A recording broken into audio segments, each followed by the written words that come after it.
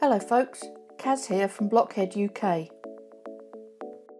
Micropolis already has one church, St Octavius, which is built in a modern style and features an eight-sided shape with large stained glass windows all around.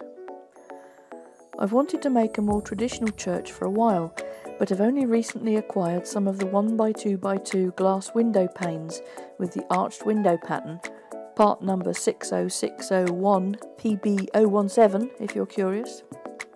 They fit perfectly into the tan arched window panels. I had already been gathering various tan pieces for decorative elements, so once the windows arrived, it was a case of setting to work and seeing how things turned out. There wasn't much pre-planning done, I just went with where the bricks led me. If you enjoyed this video, please give it a like and subscribe to my channel so you can see new content when it is released.